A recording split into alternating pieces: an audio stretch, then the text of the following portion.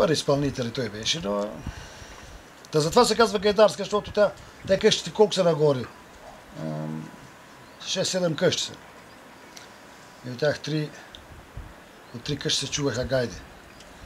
А преди 30-40 години, пък в Стикъл, тук между Солища и Гела, там пък имаше едни много добри изпълнители. Даже аз един не го помня, Михал, Михал Седянков се казвал.